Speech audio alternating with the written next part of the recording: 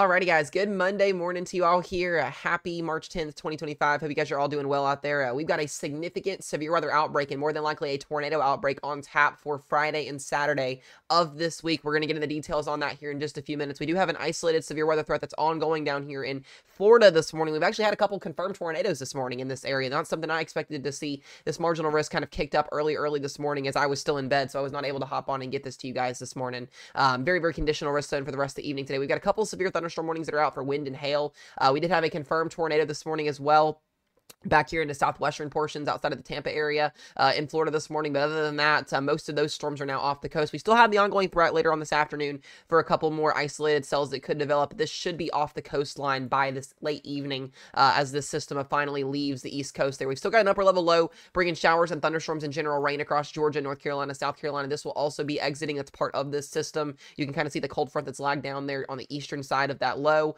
Uh, that will be moving out as well this afternoon through the overnight hours as this system can finally can, can be gone. Uh, we've had a couple days of uh, low and severe weather across the southeast, but nothing more significant than what's getting ready to happen uh, this coming up week here. Very, very quiet picture for majority of the United States as well. Got a couple showers, snow showers up here ongoing uh, into northern uh, Oregon there in portions of southern uh, Wisconsin, or Wisconsin, southeastern Washington there, but not anything too crazy in the realm of the weather world this morning. What I want to talk to you guys about is what is getting ready to happen in our weather world. We've got potentially a very historic system on tap for this week. We're going to have a severe weather outbreak, possibly a tornado outbreak on Friday and Saturday. We've got a couple little systems that are going to come through or a system that's going to come through uh, before this event is officially done and gets here. Uh, but I want to go ahead and start out with today here, just really quick, briefly run through today's risk zone. 2% tornado risk down in Florida, wind threat at 5%, and hail threat is under 5%. This will be pretty much done and over with by later on this afternoon here. And then we don't have anything forecasted for tomorrow, uh, which is a good thing. We'll get a break tomorrow. And then day three, we have that little shortwave trough that I've been mentioning over the last couple of days that'll be moving through the uh, central plains here in southern plains, giving us a marginal risk for severe weather back up here in northeastern Texas. What southwestern Arkansas, northwestern Louisiana, and southeastern Oklahoma. We will go live for this event if we need to go live for this event. If there's an upgraded slight risk or anything tornado wise that decides to happen, we'll update you guys in future forecast videos and in live streams on this situation. Uh, but the big day is going to be what happens on uh, Friday and Saturday. We've now got an enhanced risk. Not only for the ninth time this year do we have a day six enhanced risk, we have a day five enhanced risk again. So back to back severe weather days, multi day severe weather outbreaks expected for Friday and Saturday. And once again, possibly even uh, tornado outbreaks cannot be ruled out. Widespread potential tornado outbreak here for uh, a lot of people that, that are going to be impacted with this event on Friday and Saturday. And uh, if you're in that slight risk there in the yellow, that's a level two risk out of five, level three risk out of five in the enhanced risk category there. Uh, this extends basically from southeast Iowa through Illinois back into the Kentucky, Tennessee, and then down into the deep south in the Arklatex here. And then we have an even more significant event, I think, on Saturday. Personally, Saturday's done nothing but uptrend as of right now, I could even see potentially even a moderate risk being issued downstream when we get closer to this event happening for, uh, at least as of right now, for a moderate risk for maybe even tornadoes. Saturday looks to be a very, very big tornado-driven day, uh, at least on pen and paper right now. There's going to be also a line of storms that develops that could have a QLCS factor to it. That's that quasi-linear convective scale system when you get a line of storms that produces embedded tornadoes. I think both modes, regardless, are going to be very, very, very volatile on Friday and Saturday, given the instability, the shear that's going to be in place, as well as the lapse rates that we're going to have. Very, very important to have those lapse rates to give you a higher tornado potential uh, overall. So if you're in these risk zones, you need to have a way to get weather alerts. Friday and Saturday are the main days. We don't have anything for Sunday yet, although I expect maybe something to be issued along the East Coast for Sunday once we get closer to that event happening here. Uh, but that is what's happening, and we've mentioned and talked about this for you know a good couple of days now, and what's going to be happening down the road, and we're going to kind of finally start to fine tune that forecast as we get closer to this event happening.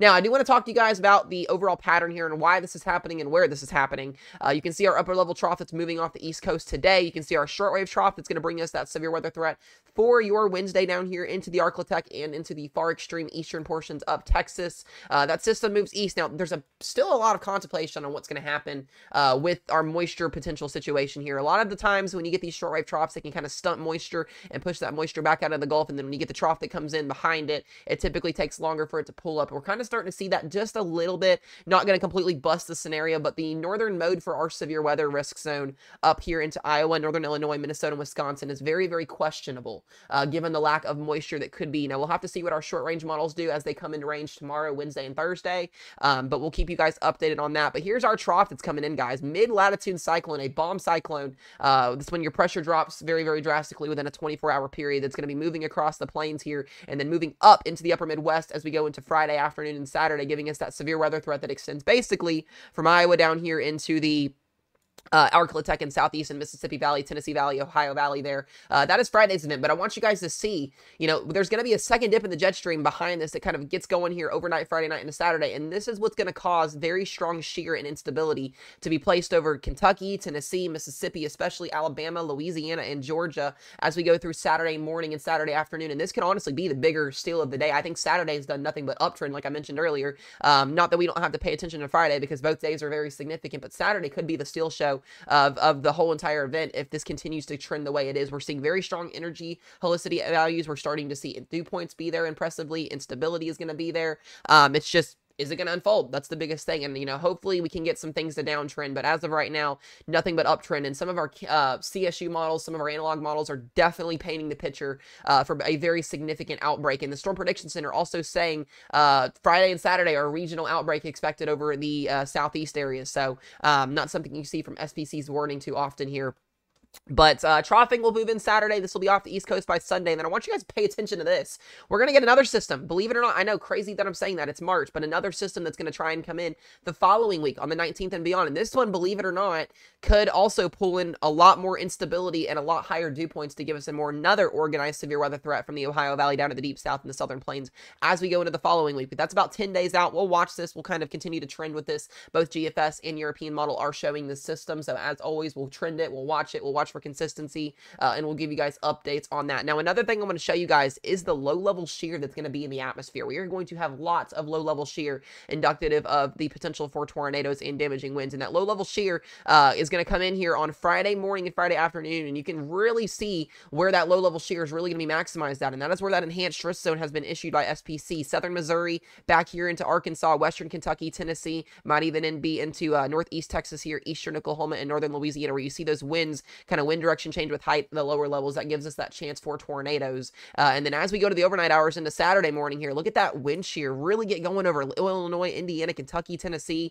Now we see our secondary uh, low pushing in more wind shear out of the deep south here, giving us that threat for an overnight risk zone as that risk zone ramps up for Saturday. And then that system will work its way uh, off the coastline by Saturday afternoon and Sunday, or by Sunday afternoon. Uh, and then we're done with that. So a three day event here, Friday, Saturday, and then possibly on Sunday. And then another one comes in following that time frame.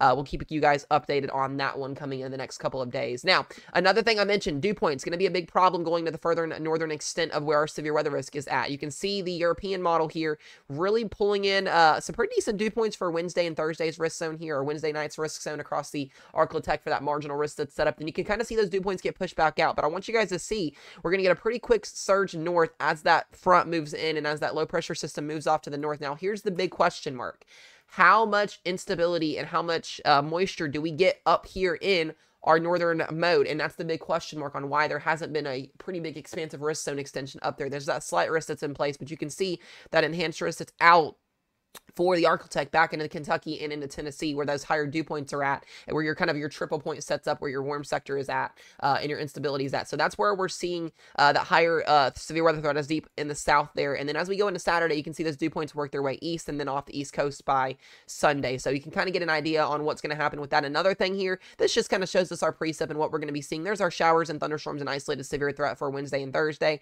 Not expecting too much out of that. And then here we go on Friday, getting that dry line going, that strong EML that's going to be present here, giving us the threat for isolated supercells and then damaging winds that will develop overnight across Kentucky, uh, Tennessee, and into portions of the Arklatex, and then we get a rebound in that surface low that's going to develop on the southern portion of our trough, and then we get more moisture, severe weather, and instability that comes in out of that system, and then that skirts off the east coast by Sunday. Still lots of time to kind of figure out what's going to happen, but we are starting to get a lot closer uh, to our event, so cam models will be in range, hopefully starting tomorrow afternoon. Uh, probably by the time we make Wednesday's video, we'll have a better shot at seeing what's going to potentially happen on pen and paper. Here's also the instability for Wednesday and Thursday. You can see pretty decent instability values here on the European model, uh, and then as we go into Friday, you can see that instability that's set up, and you can see still, once again, decent instability values this far north for this time of the year, but a big question mark on how this will unfold. More of a uh, what's the word uh, confidential uh, answer here on what's going to happen in the deep south we could be seeing instability values guys 2500 plus which is very significant for uh, severe weather so just something we really got to watch for and then as we go into that saturday time frame